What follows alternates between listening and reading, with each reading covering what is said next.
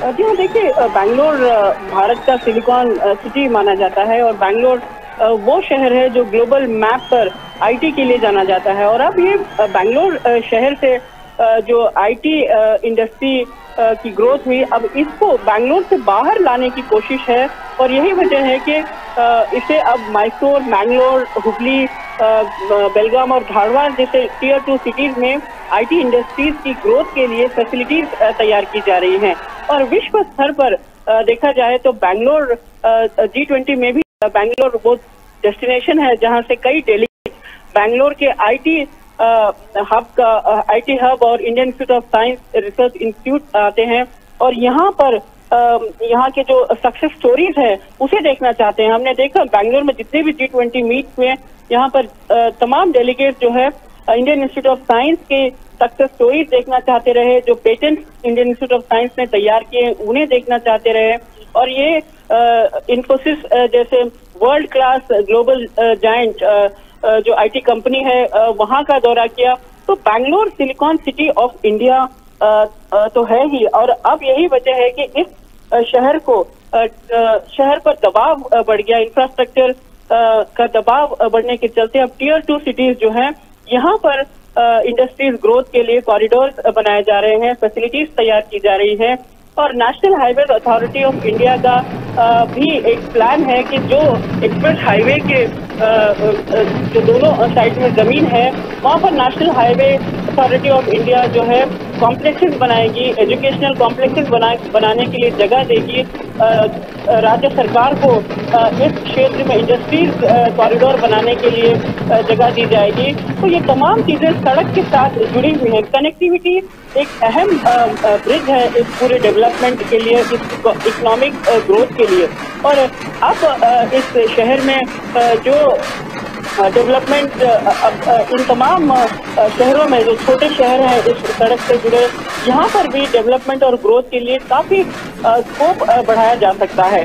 तो यही वजह है कि एक एक्सप्रेस वे अगर एक शहर दो शहरों को जोड़ता है तो उसके बीच का जो रास्ता होता है उसके हर एक एक पड़ाव पर इकोनॉमिक ग्रोथ और आर्थिक ग्रोथ और सामाजिक एम्पावरमेंट यानी सोशल एम्पावरमेंट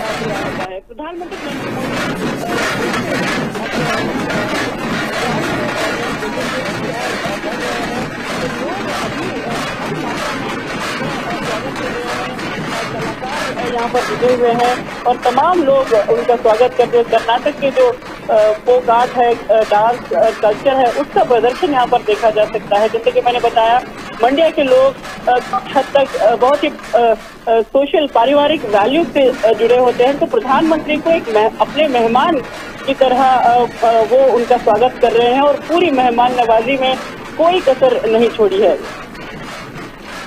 बिल्कुल हम देख सकते हैं बेहद खूबसूरत तरीके से यहाँ पर मांडा के जो लोग हैं वो अभिवादन कर रहे हैं प्रधानमंत्री का स्वागत कर रहे हैं। आयशा लगातार बता रही है हमारे संवाददाता कि कैसे बेहद सरल सहज लोग हैं अपनी संस्कृति से जुड़े हुए अपने जड़ों से जुड़े हुए और जो कर्नाटक की लोक गीत और संगीत के साथ यहाँ पर प्रधानमंत्री का स्वागत किया जा रहा है उनका अभिवादन किया जा रहा है। इसके पहले हमने देखा कि कैसे रोड शो के दौरान भी अ, बेहद गर्मजोशी के साथ, बेहद उत्साह के साथ हज़ारों की संख्या में लोग कतार बनाकर खड़े रहे। सड़क के दोनों तरफ़ और प्रधानमंत्री पर फूलों की बारिश की और उनका स्वागत किया। मांड्या वो पहुँचे हैं और एक लंबे समय के बाद प्रधानमंत्री पहुँचा है इस मांड्या के जगह पर। और यही वजह है कि बेहद गर्मजोशी के साथ, लोक संस्कृति के रंगों के साथ लोकगीत संगीत के साथ, ढोल के नगाड़ों के साथ इसकी थाप के साथ प्रधानमंत्री का स्वागत किया जा रहा है। और प्रधानमंत्री ही उतनी खुशी के साथ, जोश के साथ, ऊर्जा के साथ उनके इस अभिवादन को स्वीकार कर रहे हैं। और उनके इस गीत, संगीत और उनकी संस्कृति का सम्मान कर रहे हैं।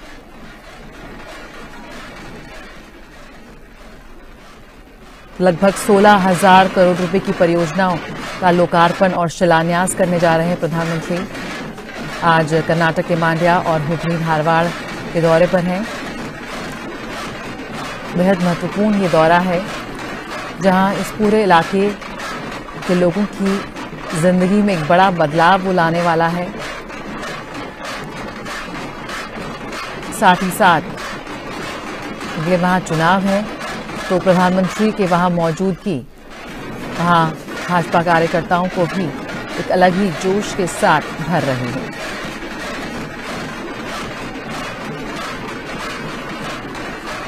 आयशा, हम कह सकते हैं कि इस वक्त जो भारत है, वो वर्ल्ड मैप पर एक बेहद प्रमुख पोजीशन पर आ गया है। पूरा विश्व।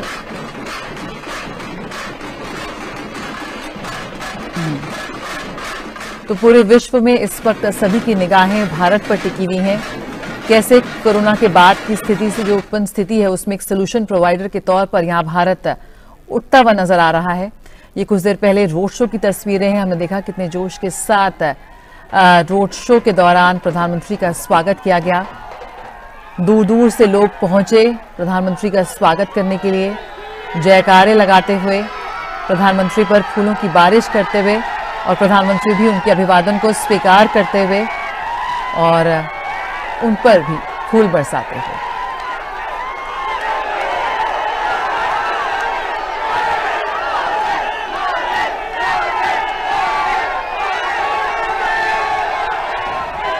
मौसम भी वहाँ गर्म रहता है, लेकिन इतनी धूप में और गर्मी के बावजूद हम देख सकते हैं कि बड़ी संख्या में लोग पहुँचे हैं।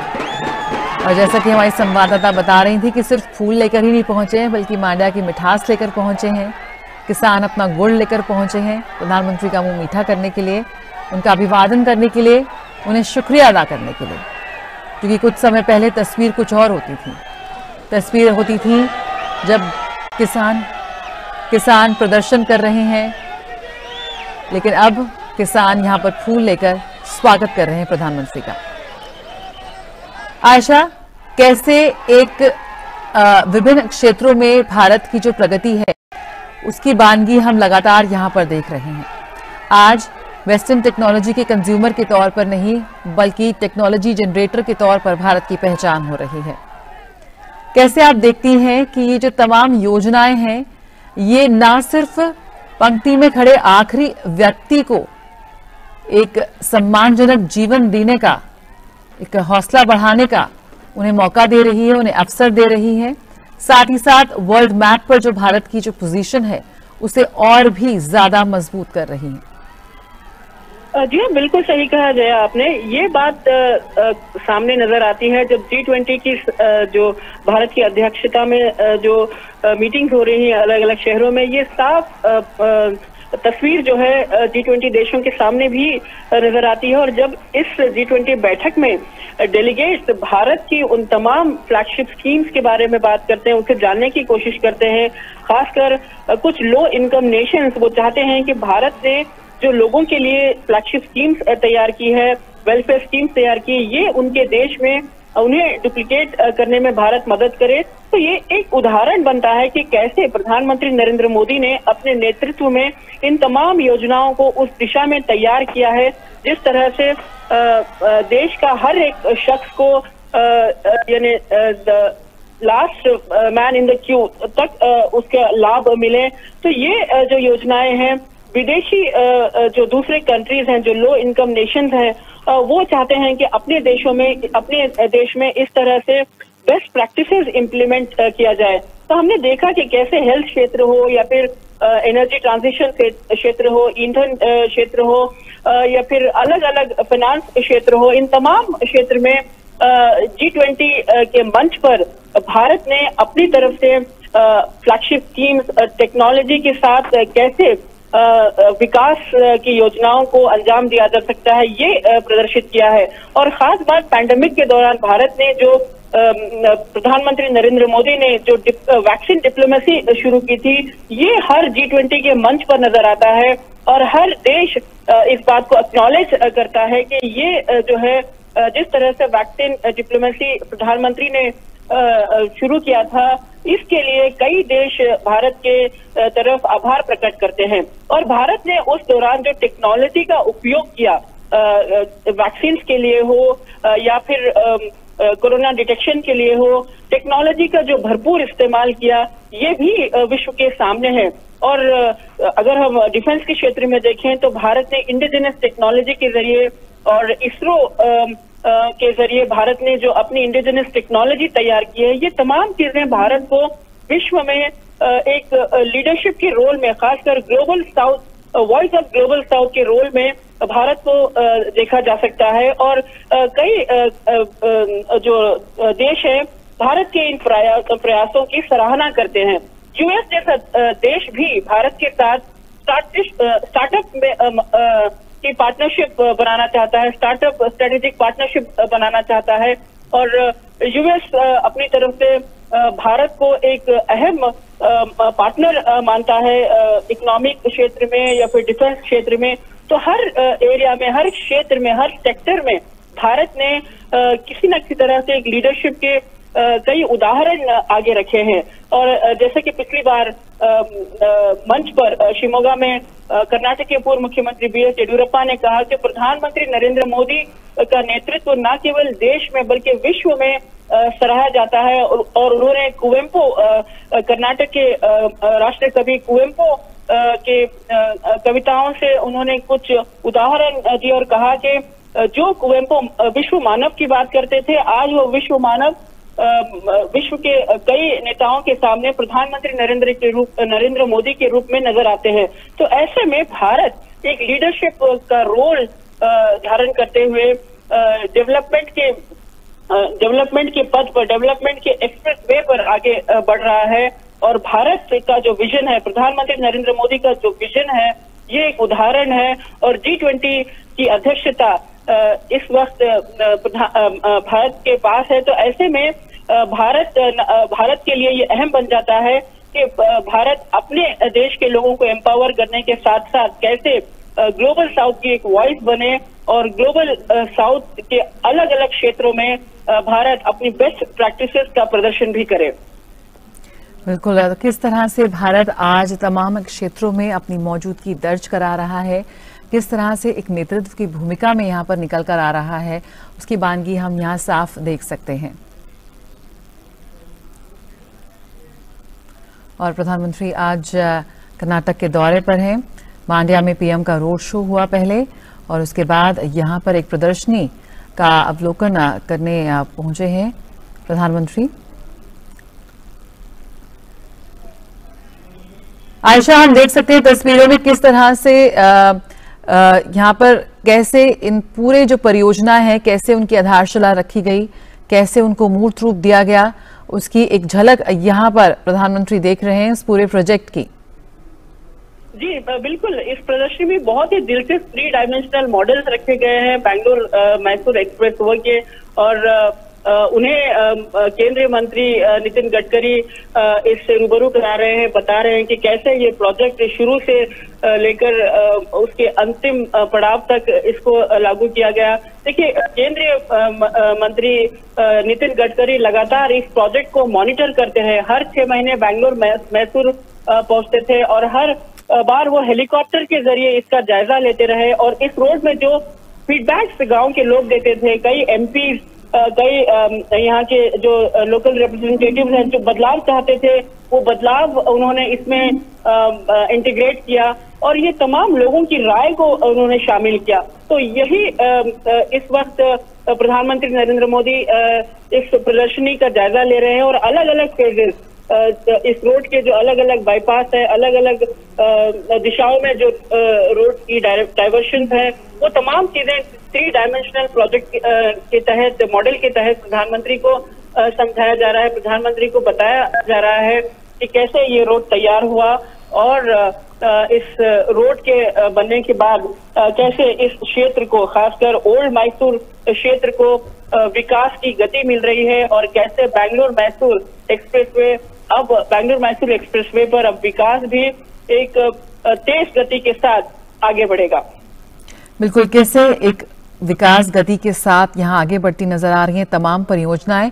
और ये बहुत महत्वपूर्ण होता है, जब किसी भी परियोजना की शिलान्यास किया जाता है, किसी परियोजना की शुरुआत की जाती है तो हमने इतिहास देखा है पिछले एक दशक में कि कैसे रिकॉर्ड टाइम में, रिकॉर्ड समय में उन परियोजनाओं को पूरा किया जा रहा है। यहाँ जवाबदेही तय हो रही है, लगातार मॉनिटरिंग हो रही है। उसकी गुणवत्ता पर ध्यान देते हुए कैसे अगर कोई वादा किया जा रहा है, शिलान्यास किया जा रहा है, कैसे उसे पूरा किया जा रहा है, ये भी बहुत महत्वपूर्ण है। आयशा, यहाँ पे हम कह सकते हैं रिकॉर्ड टाइम में ये परियोजना को खत्म किया गया और आज हम इसको देख रहे हैं। जी हाँ बिल्कुल इस परियोजना इस परियोजना को रिकॉर्ड टाइम में पूरा किया गया। और इस इसे दो फ़ेज़ में बांटा गया था जैसे बैंगलोर हम्म। से निधगट्टा और फिर निधगट्टा से मैसूरिया ने दोनों तरफ़ से ये सड़क बनकर तैयार हुई। यानी इस बात का इंतज़ार नहीं किया गया कि बैंगलोर से मैसूर तक सड़क अलग अलग फ़ेज़ में बनाया जाए। तो इसी वजह से ये, इस सड़क को दो फ़ेज़ में बांटा गया। क्योंकि जब ये रोड बन रही थी तो मैसूर की तरफ़ से भी और बैंगलोर के तरफ़ से भी एक साथ पैरेलली इसे डेवलप किया गया, इस रोड को बनाया गया। यही वजह है कि दो फ़ेज़ में इसे इसे बनाया गया। तो इसे रिकॉर्ड टाइम पर पूरा करने में आसानी हुई। और खास बात ये भी है कि इस रोड को बनाने के लिए यहाँ के गाँव से जो कई अहम पड़ाव इस सड़क के गुजरते हैं, यहाँ की ज़मीन एक्वायर करने में ज़्यादा वक्त नहीं लगा, क्योंकि यहाँ के लोगों को इस बात का अंदाज़ा था कि कैसे ये रोड अगर बनती है तो कैसे इस पूरे इलाके को, इस पूरे ओल्ड मैसूर रीजन को एक विकास का पथ मिलता है? तो ऐसे में लैंड एक्विजिशन की लैंड एक्विजिशन को लेकर ज़्यादा देरी नहीं हुई। तो यही वजह है कि ये रोड रिकॉर्ड टाइम पर तैयार है और आज बैंगलोर मैसूर के बैंगलोर और मैसूर का रास्ता केवल पचहत्तर मिनट में पूरा हो सकता है।